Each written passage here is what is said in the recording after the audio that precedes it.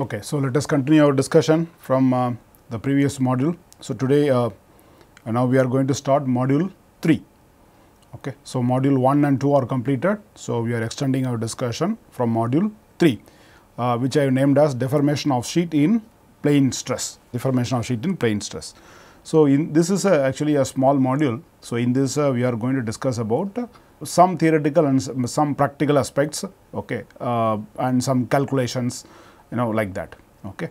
So um, to start with, uh, in the previous chapter, uh, we were discussing about uh, we can evaluate uh, strains, principal strains epsilon 1, 2 and 3, which is going to depend on the initial and original dimension of a particular element. We worked out some problem, two problems also in the previous chapter, right. So now, then further strains, uh, if you calculate, you can calculate effective strain, then effective stress by knowing some flow stress model. From effective stress by knowing an yield function, you can get sigma 1 and by knowing beta alpha, you can get a sigma 2. Okay. So, from there onwards, you can get uh, hydrostatic stress and principal stress, uh, deviatoric stresses. So, all this can be calculated along with the work done. That is the way we started, right. So, now the first important thing is to evaluate uh, the uh, you know strains at different locations of a sheet. So, how do we do it practically? So, so we start with that discussion and then we go ahead with some important aspects in this particular chapter. So, now, uh, so here I have given three figures A, B and um, you have C. Okay. So, uh, you can imagine that A is basically an undeformed sheet. Okay. This is basically an undeformed sheet and this is a deformed sheet okay, and this is a deformed sheet and this is a deformed sheet. Okay. So, now the question is how do you calculate uh, your strains. So, if an undeformed sheet of thickness T naught, uh, let us say initial thickness T naught is marked with grid of circles of diameter D naught, okay. So, uh, or a square mesh or a square grid of uh, you know dimension let us say D naught, okay, then during uniform deformation the circles will become ellipse okay, with major and major minor diameters as D1 and D2 correct. So, what does that mean? That means uh, suppose you have a sheet you know through which I mean using that you are going to do deep drawing or stretching or any sheet forming operations first of all you have to put lot of circles on the sheet surface. Okay. You have to uh, etch or you have to print several circles of known dimensions say for example this D naught. Okay. So, I have just given you some example 4 circles 1, 2, 3, 4 of diameter D naught. D naught could be maybe about uh, let us say 20 uh, mm let us say 2 centimeter you can say 20 mm. Okay. So, let us say 2 centimeter you can say.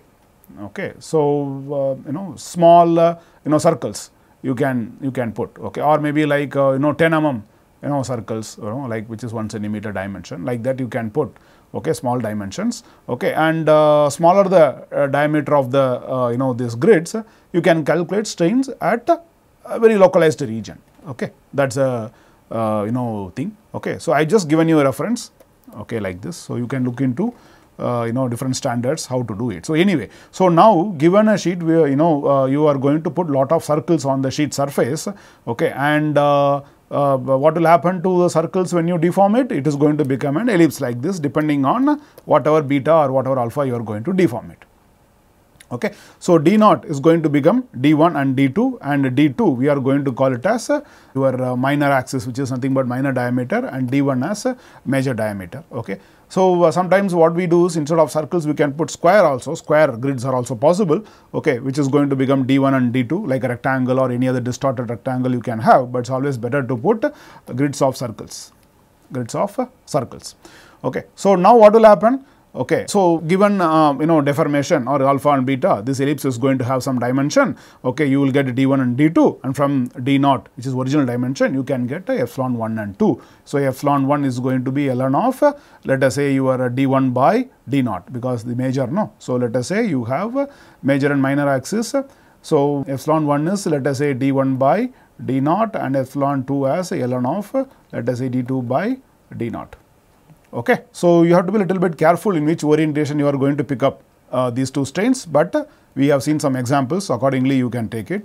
Okay. So, now the new thickness T and the deformation stresses are sigma 1 sigma 2 okay, which are also referred here. So, this has become T small t and you have sigma 1 and uh, sigma 2 these are two principal stresses acting on the uh, sheet which is responsible for deformation okay? And this sigma 1 sigma 2 will give rise to T1 and let us say T2 which are actually called as a tension or a traction. Tension or traction okay? So that T can be evaluated from sigma into T okay? If you want T1 it will be sigma 1 into T. If you want T2 it will be sigma 2 into T which is what I have given here okay? T is known as tension or traction which means it is always pulled in one direction Okay. Suppose in principal direction 1 you have T1 that is sigma 1 into T assuming T to be a constant value new thickness but constant. Okay. Sigma 1 sigma T1 is equal to sigma 1 to T which is nothing but major tension generally it is positive in nature okay. and you have T2 which is sigma 2 into T which is generally called as minor tension. It is positive in stretching uh, but opposite negative when you go for compression type of uh, deformation. Okay. So, T can be found out as sigma into T. Okay. So, now uh, you know how to calculate epsilon 1 and epsilon 2 and from there you can calculate epsilon 3 uh, or you can directly calculate t by t naught. Okay, with respect to this figure you can get epsilon 3 is equal to ln of t by t naught. We have seen some examples before in the, in the previous chapter. Okay. So, now such uh, evaluation of strains will give you something called as a strain distribution okay, in the entire deformed sheet which will give you some important information uh, during the deformation process. Okay. So, what do we do? Say for example, you take a deep drawing. I just given you as example of cup deep drawing, cylindrical cup deep drawing. Okay. So, you have a blank and you have punch, you have die and there is a blank holder. So, you know what is the meaning of blank holder? Blank holder is going to hold the sheet between the die and the blank holder and you are going to give some force let us say you have give a force of BHF let us say a blank holding force is given here. Okay. And uh, you know that there is no restriction for the movement of uh, sheet in the radial direction, it moves actually, okay, but only restriction is through friction. Okay, there is otherwise there is no constraint. So, finally, you are going to get a, a cylindrical cup like this. You have seen this example before. Okay. So, now I have a partially drawn cup. Okay, similar diagram we have seen before. I have partially drawn cup. Okay, I have just shown you one sector of that. So, this you know is a flange region, this is a cup wall region and this is a cup bottom region. Okay, that is known to you. So, now we want to evaluate strain. Now, we want to, we are going to pick up this deep drawing as a process. We are going to evaluate strain at 6 different locations 1, 2, 3, 4, 5, 6. Okay. So, we are starting from cup center to the, uh, uh, you know, your uh, this, your uh, punch corner, then in the cup wall, then in the die corner and somewhere in the flange and at the edge. 6 different locations we are picking and you imagine that this entire sheet on the sheet surface from top view if you see, okay, on the sheet surface is going to be a sheet is going to be a circular one and there are a lot of circles you know printed on it and you are doing deep drawing and you are going to pick up these 6 locations to get uh, strain distribution. Okay. And that is what they simply referred as. We evaluate strain in all these locations and by measuring the grids. Okay. And uh, I can plot a graph between epsilon 1 and 2 okay. Epsilon 1 and 2 and uh, you should note down here that epsilon 2 can have negative and positive value and epsilon 1 we are keeping always as a positive value Okay. So, epsilon 2 uh, is in x axis and epsilon 1 is in uh, y axis and you are going to calculate all the strains and you are going to plot here. I have shown two different stages. Okay. So, this is your stage number 1 and this distribution is for stage number 2 at 6 different locations. So, it starts with the edge, this edge is here, okay. it starts with the edge and it moves to a center. So, this is your center of the cup. Okay. So, you can see that uh, you know maybe in the stage 1 Okay, let us pick up stage 1, okay, which has got the lower strains as compared to stage 2 naturally. Okay, and uh, stage 1 is center location. You have strain here and then here and then the third location is somewhere on the y axis okay, and uh, the fourth location is here, fifth location is here and the edge it is somewhere in the negative uh, you know epsilon 2 okay, probably beta is going to be minus in there. So, now if you further deform it and the same location, same grids, I am going to monitor the new dimensions, new diameters and I am going to get epsilon 1 and 2 and I am going to plot here in the 6 different locations and you will see that this is a second stage. So, what do you get from this? You can get the present status of deformation in the 6 different salient locations. 6 different salient locations and 6 different locations will have 6 different betas and alphas. You can see this dotted line tells let us say this is one beta, this is another beta, this is one, four, five, six, six different betas you can imagine. Okay, this will give you the entire feel for how strain is getting distributed in this. And when you compare first stage and second stage, the regions are not equally deformed. The regions are not equally deformed. You see that? So, here the strains are closer and when you move towards the edge, it is uh, deviating a lot it is deviating a lot. So, it will also tell you which location is going to deform significantly as compared to the, the other locations. Okay. So, such a strain distribution can be evaluated uh, for any uh, sheet deformation or even for tube deformation process also to get an idea where you are going to have uh, what type of strain distribution, where you are going to have uh, strain localization which is going to be responsible for let us say uh, instability or uh, you know fracture which you are going to see later on or necking like that. Okay. So, I just summarized you know whatever I have discussed with you here. Okay. The strains are located at locations mentioned in figure B. The strains are plotted on these locations. Okay. On these locations. Okay. In strain space epsilon 1 and 2 graph and strain locus can be obtained in a particular stage. So, this is called as one strain locus. This is called as another strain locus. Same location, two different stages. You can also have third stage which could be something like this. So, fourth stage, fifth stage, something like that until you have a full cup form. Okay. The strain locus may expand uniformly till a stage and later some points may stop straining. Okay. Then a process limit is reached. That is what I gave an example. Probably this region will stop straining if you further deform it because the strain gradients are very low here, but here you will see that uh, there is significant deformation going on in these locations. Okay. So, the, this typical strain pattern is called as a strain signature. Okay. This strain signature can be obtained for different processes at different stages and there are certain advantages of that. Okay. So, just to summarize how do you calculate the principal strains? You have epsilon 1 which is nothing but d1 by d naught. Epsilon 1 is d1 by d naught. What do you write? right? Yeah. So, epsilon 1 is d1 by d naught, epsilon is d2 by d naught and epsilon 3 is you know ln of t by t naught or you can get it from epsilon 1 and 2 at a particular location like this you are going to get for all the grids. Okay. So, now if you know epsilon 1 and 2, okay, so then you can get beta that is why we have 6 different locations, 6 different uh, you know beta 6 different strain ratios or strain paths epsilon 2 by 1, 2 is d2 ln of d2 by d1 divided by ln of d1 by d naught. Okay. And uh, if beta is a, a, constant, we call that as a linear strain path. What do you mean by strain path? Strain path is nothing but the mode of deformation. Okay. Nothing but the mode of deformation. So, strain path means this is one strain path. Okay. Let us say you are going to pick up from 0. Okay. this, this particular element is following this particular strain path like this, okay, essentially beta. Okay, that is considered as linear. It is not going to change. It is not going to become non-linear. If it becomes non-linear, which can happen, then you have to be a little bit uh, careful. There is something happening when there is a change from you know one slope to another slope. You have to be careful. Okay. So, how do you get epsilon 3?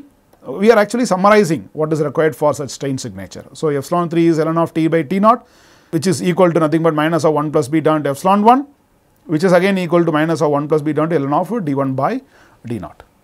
Okay, so, you do not need to measure this rather you can uh, get d naught which is known to you okay, let us say 10 mm and uh, let us say you have uh, d1 you can measure it and get it. So, beta is fixed okay. So, you can substitute it and you will get epsilon 3 and from epsilon 3 you can get the current thickness which is nothing but t naught exponential epsilon 3 or t naught exponential minus of 1 plus beta into epsilon 1. So, epsilon 3 you can substitute it here. Okay. Alternatively, you can get T as you know uh, volume remains constant okay, in a particular grid. Okay. You can uh, get this uh, equation and from there onwards you can get T. T is nothing but T naught D naught square divided by D1 D2 where D naught is nothing but diameter of the initial circle grid and T naught is the thickness original thickness at that location and d1 and d2 are the new dimensions of that ellipse that will give you t. So, either you can get t from this or you can get t from this. So, the entire summary of this is you can get uh, just by putting circle grids you can get uh, epsilon 1, 2 and 3 okay, and you can plot it at any number of locations which will give you uh, a strain locus or strain distribution uh, in the entire section and that will give you some idea of what type of deformation you are going to have and whether it is equally uh, deforming at different stages or uh, it is going to be different type of deformation different locations that can be obtained. Okay. This I think I told you Okay. The whole summary is this, assuming beta to be constant. Okay. Beta can change. Okay. Beta can change. Okay. So, now let us come to modes of deformation. We will give some uh, you know take more ideas into these modes of deformation or modes of deformation is nothing but beta or alpha. Okay. So, what all the information that we are going to get from this? Each point in the strain diagram indicates the magnitude of final, major and minor strain and the assumed linear strain path to reach this particular point. Right. Suppose you pick up this particular point, let us say, okay, this is again a plot between epsilon 1 and epsilon 2, correct. Let us pick up this particular point, let us say A, okay, it, it has got a magnitude of epsilon 1 and epsilon 2, assuming this linear strain path to reach that particular point. Same way for OB, OC, OD and OE, right. So, now this ellipse which I have shown here, this ellipse which I have shown here, okay, is nothing but a contour of equal effective strain, epsilon bar, just to give some idea. It is a contour of equal effective strain, okay. It is a contour of equal effective strain. That means you deform the sheet along OA and you stop here, OB you stop here, OC you stop here, OD you stop here and OE you stop here and uh, they have to be stopped at uh, almost the same effective strain, okay. And then you join it to create a contour. Okay. So, and uh, from the work hardening hypothesis, they will all have same sigma f at that particular location. Okay. So, the ellipse shown in the contour is a contour of equal effective strain epsilon bar, each point on the ellipse will represent strain in the material element that from work hardening hypothesis has the same flow stress sigma f. Okay. Anyway, so that is just one small information, but what is very important for us is what does this signify OA, OB, OC, OD and OE. That is what we are going to discuss now in the uh, next uh, this particular sections. So, before discussing just uh, get a you know some idea from this diagram. So, this anyway is a plot between epsilon 1 and 2 and you will see that uh, I am representing OA path which is denoted by beta is equal to 1. Okay. That means epsilon 2 by 1 is equal to 1. So, epsilon 1 is equal to epsilon 2. Okay. And here OB when you go along this path you are going to have beta is equal to 0 okay, which is nothing but epsilon 2 0 which could be called as a plane strain process okay, because uh, as I already told you when you have OA this particular point okay, there is one epsilon 2 and 1 associated with this point A and there is epsilon 3 inside that. Okay. So, epsilon 3 has to be calculated from this location epsilon 1 and 2. So, epsilon 3 exists inside. Okay. So, which means that uh, you can call this as epsilon 2 as 0 Ah, so, that is why you have only epsilon 1, but epsilon 3 exists. So, you can call this as a plane strain deformation. Okay. Similarly, OC you can say beta is equal to minus half, OD you can say beta is equal to minus 1 and OE which is also a critical strain path beta is equal to minus 2 we get and you can also see how these ellipses are going to how the circles are going to get deformed.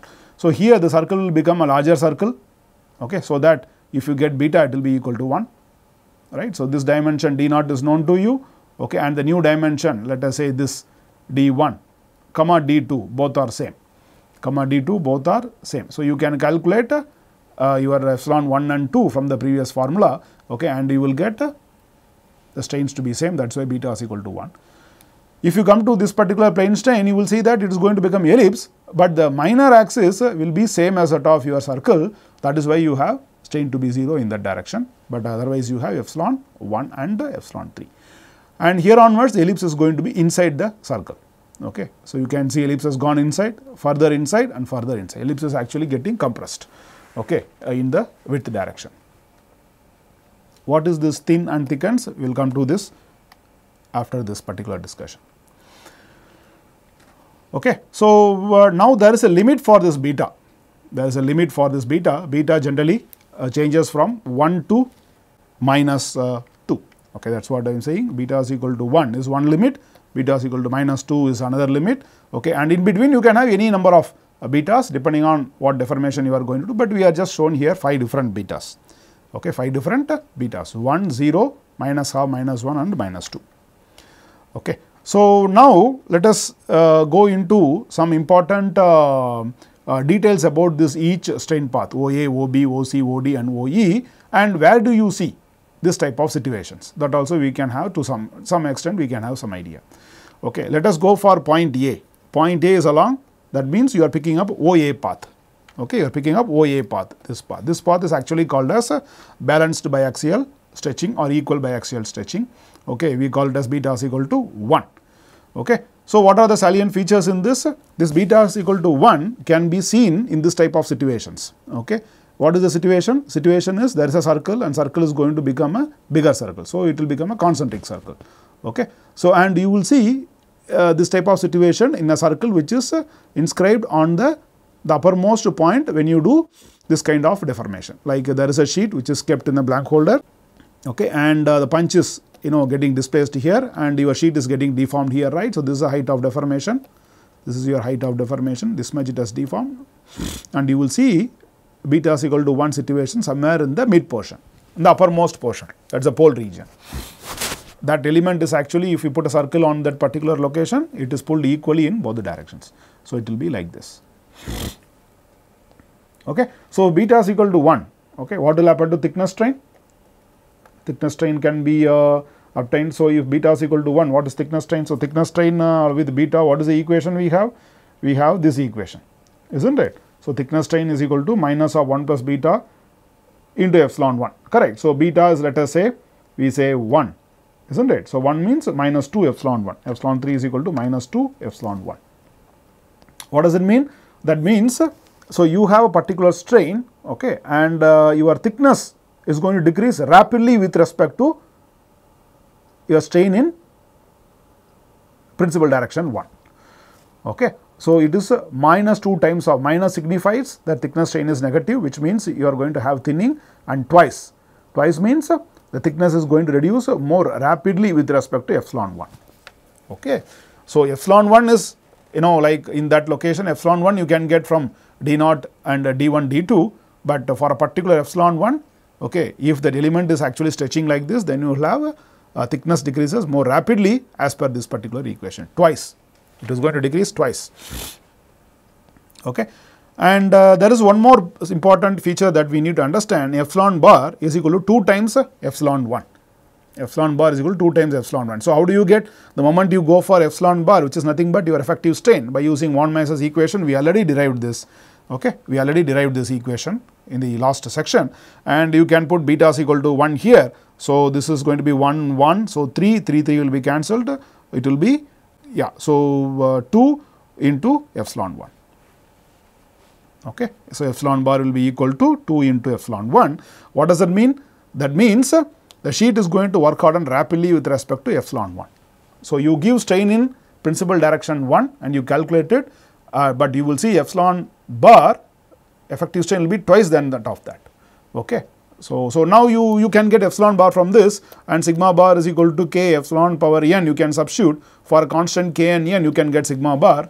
Okay. So, and you will see that the sheet work hardening is going to be rapid in this particular type of deformation. That means you have a sheet that is a component that is made okay and at one particular location let us say a set of elements are deforming in equiaxial stretching stretching a strain path where beta is equal to 1 then in that location you will see thinning is going to be significant and work hardening is also going to be significant okay so, with respect to what? Because when we are saying you know thickness strain is going to be uh, you know thickness is going to decrease uh, you know rapidly and strain hardening is going to be rapid. No, with respect to what? with respect to epsilon 1, but then we are also comparing with other strain paths.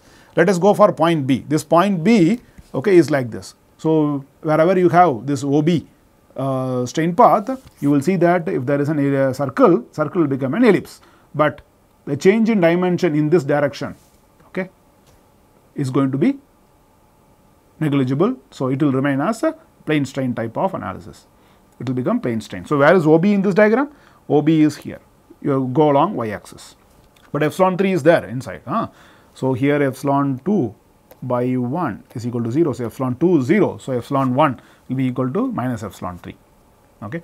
So, now here I just simply made a single circle expands only in one direction and circle becomes ellipse in which minor axis is unchanged like this. And you can see such situation in a channel a side wall you can say. Okay. Suppose this is a channel sheet channel that is made okay channel type of deformation okay, you will see somewhere in the cup wall region you may see that kind of situation. Let us come to point C path OC. Path OC is what? Path OC is uh, this path beta is equal to minus 1 by 2. This is known to us.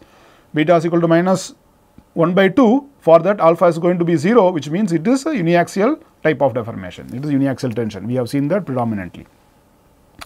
So, when sigma 2 is equal to 0 like in the uniaxial tensile test that is the situation you see here okay that means your street stretches in one direction and contracts in the other direction. So, ellipse has started going inside the circle dimension and generally you can see such type of situation exist in the uh, hole expansion test at the edge. Okay. So, one has to really look into it, but some idea you will get from this kind of application. Okay. You can see suppose a hole is stretched actually pushed in this direction you may see this kind of situations here. Point D, this point you already discussed in one of the problem, your point D. That means you are following path OD and you are reaching this point D, okay, which is described by beta is equal to minus 1. Okay. This OD path is also called as drawing or constant thickness process, constant thickness process. I think uh, constant thickness process, this example we have seen in the uh, second problem of the previous module isn't it? Where we are trying to compare two different uh, you know uh, betas right? One of that is basically drawing our uh, constant thickness process. I also referring to the calculation and say that epsilon 3 is 0 there which means thickness is not going to change at all. And you will see in such cases ellipse is going to further compressed inside okay in the your minor dimension side okay?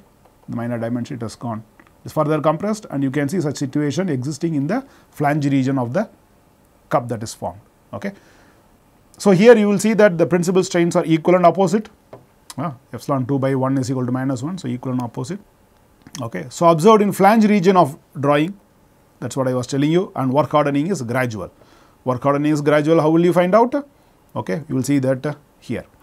Okay. So, uh, before that you can find out epsilon 3 is equal to minus of 1 plus beta and epsilon 1 and beta is equal to minus 1. So, epsilon 3 is going to be 0. What does it mean? That means, if you deform a material in this particular strain path, you can deform the material up to a particular strain, but without much change in the thickness. So, thickness strain is going to be almost 0. Okay. So, now for this also you can get epsilon bar right. So, what is epsilon bar? Epsilon bar is this equation and uh, your beta is equal to minus 1 you put here. So, 1 minus 1 plus 1 okay. So, square root of uh, you know 4 by so 2 by square root of 3 into epsilon 1 so, 2 by square root of the epsilon 1 which is nothing but 1.155 times epsilon 1 and you when you compare this with the previous fellow that is your 0.8 is 2 times of uh, 2 times of epsilon 1 this is what I was telling you. If you compare these two processes epsilon bar is equal to 2 epsilon 1 and uh, epsilon bar is equal to 1.155 times epsilon 1 and you can say that here work hardening is actually very gradual. In the other case when you go for balanced biaxial stretching or equibiaxial stretching is going to be rapid. Okay. So, one has to be very very careful in this type of uh, deformation which deformation you are going to pick up and there is one more point called as point E okay and if you pick up a point OE that is the least one okay minus 2 okay here also you can see that epsilon bar will be equal to minus epsilon 2 and of course you can also get this type of relationship.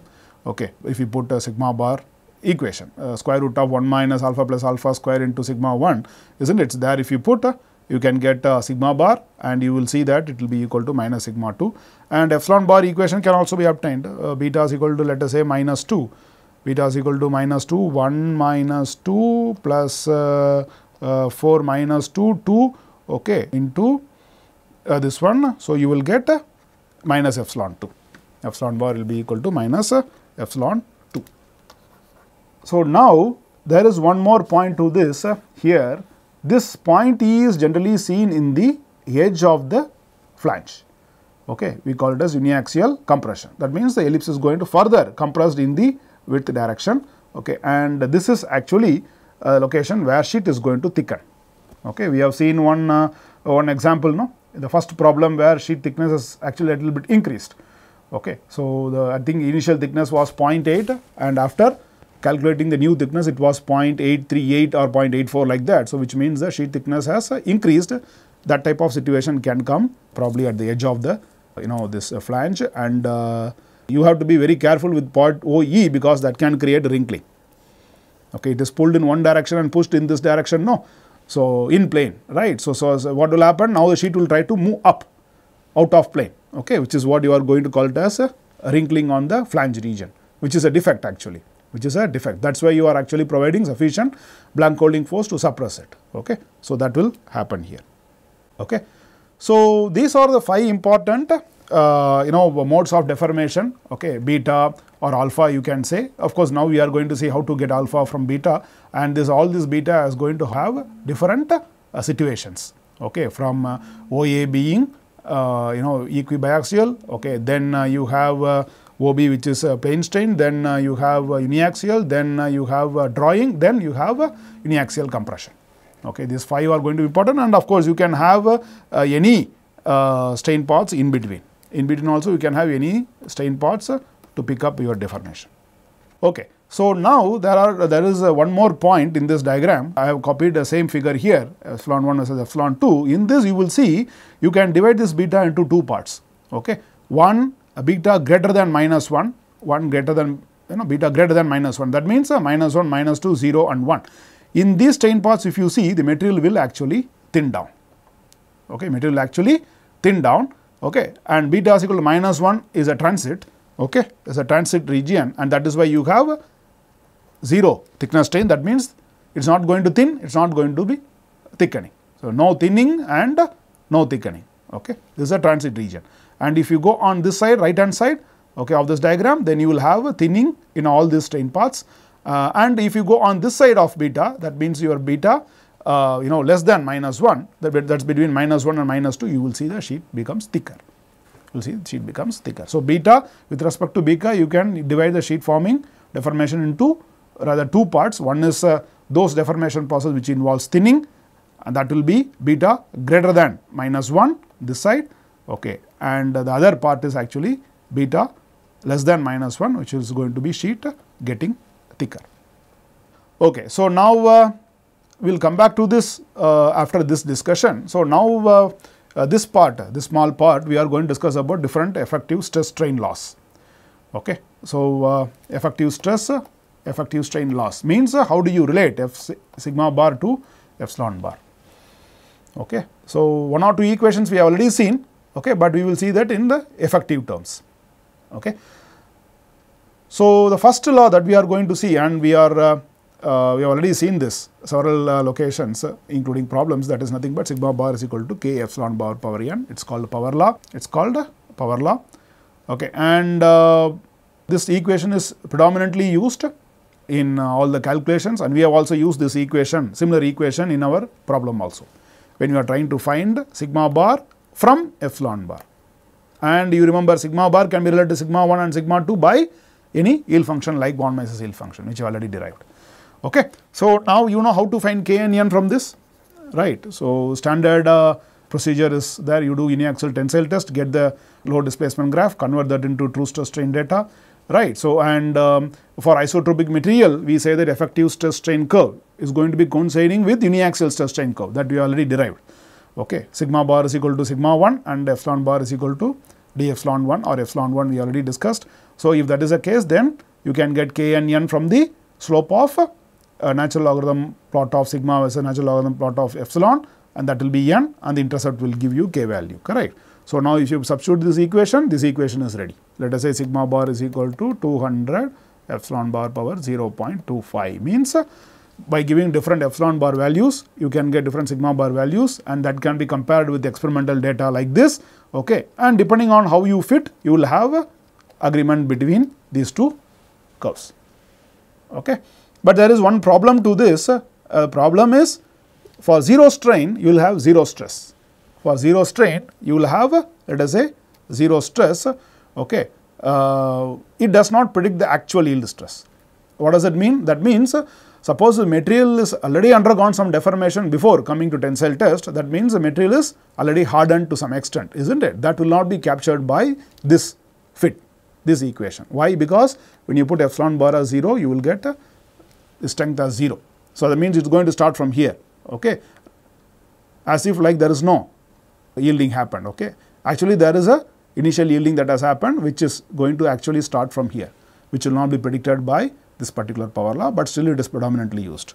Now, to, to capture that, the change in strength when you do tensile test, you introduce something called as pre-strain. Okay, this is what we uh, used it in the previous problem as probably 0.008 or 0.0008. That's a small value we used. Okay, it's generally a small value.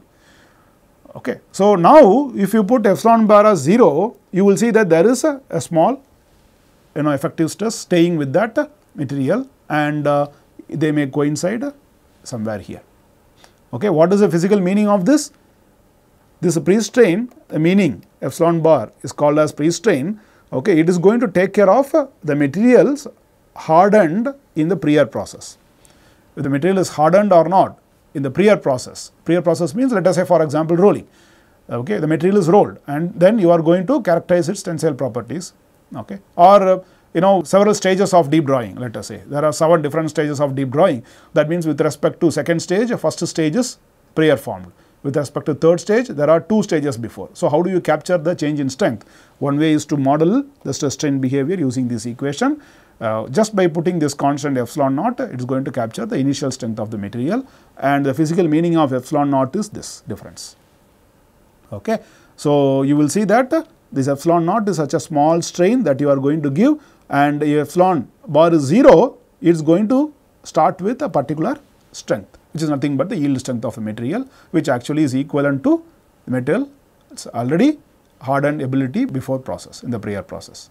So, but in this how do you get K and N? K and N can be obtained by fitting it. Okay. So, what you can do is like you can use this equation okay, to know K and N that you know already and you can use that K and N here okay, and calibrate your uh, you know stress strain data such that your experiment and uh, you know the data from this equation are going to match. There will be one particular value of epsilon naught from each uh, you know, which you are going to have uh, you know very good agreement between these two. That could be the value of epsilon naught. But how to get k and n? k and n you can get from the, the other hardening law sigma bar is equal to k epsilon bar power n. Okay. Uh, these two are other simple equations generally we do not use these days.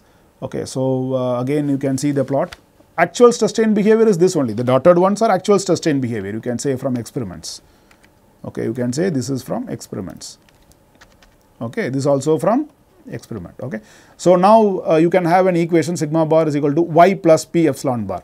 So, when you have strain 0 sigma bar is equal to y and that is this point which is nothing but your yield strength. Okay. It starts from yield strength, but it is not going to have uh, you know a power law based uh, strain hardening behavior it is going to vary linearly with the uh, strain and uh, the fitting is going to be varying significantly at different locations you can see the difference. But if you do not have any material constant one can use it. The fourth one is further simple sigma bar is equal to y. This is also called as rigid perfectly plastic model. So, your actual experimental curve data point is this, but you are modeling it with a horizontal line which is equal to sigma bar is equal to y and this is nothing but your y only nothing but the yield strength and it is not going to harden at all okay, which is called as rigid perfectly plastic model. So, these are uh, four equations one can use, but other than that there are several other forms of equation Okay. There are maybe another 4 or 5 important forms are there one can look into literature for that we are not going to discuss it here. Okay. And uh, uh, just to complete uh, this particular uh, discussion okay. So, here what I have done is for different betas which you have already seen okay 1 0 minus 1 by 2 minus 1 minus 2 we can calculate alpha is not it. So, uh, that you know alpha's alpha relationship with respect to beta you know isn't it. So, uh, we already derived it using Levy-Mises flow rule isn't it. So, in that way you can calculate different alphas and you will see that for equibiaxial stretching this is 1 and this is also 1 plane strain this is 0 this is 1 by 2 uniaxial tension this is minus 1 by 2 this is 0 for drawing it is minus 1 minus 1 for uniaxial compression it is minus 2 and if you convert that into uh, for alpha it is going to be minus infinity. Okay. So, now, uh, now this this diagram can be converted to this diagram. Okay. This diagram is we already know it is basically nothing but a plot between epsilon 1 and 2. Now, I want to convert that into sigma 1 versus sigma 2 which is our well known yield locus which is our well known yield locus. Okay. Since we are speaking more of von Mises type then it will be in the form of an ellipse of course, sigma 3 is 0 it is plane stress process. Okay. So, and uh, the same paths are noted here OA, OB, OC, OD and OE are noted here. OA, OB, OC, OD and OE, but uh, you have to be very very careful in comparison. Okay. OA will have almost the same location of what you see here isn't it because both are 1. Okay. So, now of course, you know that uh, this element is actually pulled equally in both the directions. So, alpha is equal to 1. So, now you pick up OB, OB is actually coinciding with y axis which is a plane strain mode of deformation. Okay. For that if you get alpha it is not going to coincide with y axis we have to be very careful it is going to be little on the right hand side of y axis that is your OB okay, where alpha is equal to half. It is also pulled in both the directions, but in different proportions. OC, if you pick up, it is on the left hand side of y axis here in the strain diagram, but that is going to coincide with y axis here. Why? Because your alpha is equal to 0, which means uh, your sigma 2 is not there, okay, and sigma 3 is anyway not there, and uh, you are going to have you know along the y axis. And here you will see that it is actually pulled in only one direction. Okay. So, OD here and OD here are you know looks same because it is minus 1 minus 1 okay. And you will see that uh, the square element is actually pulled in one direction and uh, pushed in other direction or compressed in other direction maintaining alpha is equal to minus 1 okay. So you have to be a little bit uh, you know very careful in this. Okay. So, uh, I think uh, in uh, when we discuss about yield locus, I shown some example of different locations of yield locus with respect to deep drawing. And I was referring there in the yield locus we are referring to plane strain, right. So, you have to be little bit very careful that this plane strain OB is actually here, is actually here in your uh, sigma 1 sigma 2 plot. This OB is actually plane strain is actually OB here, okay. So, the last one is actually uh, you know purely compression that is along the x axis okay, when you have sigma 1 and sigma 2 which is going to beta is equal to minus 2. Okay. So, in this way you can convert all these uh, betas into alphas. Okay. We have done some numerical problems also where you have once you got beta you can get alpha and these are the 5 prominent alphas and betas uh, you know through which you can deform material to any strain. You can have in between also it depends on the material okay, and uh, what type of deformation you are giving. You can have in between these two, you can have between plane strain uniaxial, uniaxial to drawing, drawing to uniaxial compression. Okay. So, you can have a variety of uh, values in this okay. and this can be separated this can be separated as I was telling you one is going to be thinning and uh, that is beta in this side beta this side beta greater than your minus 1 beta less than minus 1 will be divided into two parts, one for thinning, one for thickening like what we discussed here, this slide. So, okay. So, we will stop here and we will continue our discussion further.